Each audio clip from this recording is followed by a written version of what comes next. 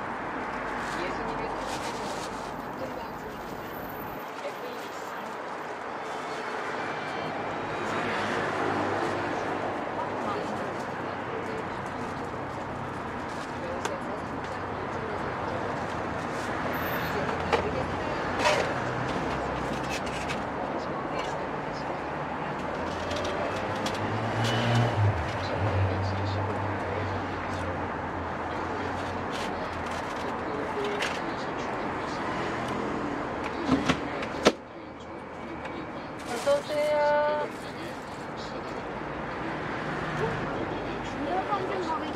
네, 잠시만 계세요.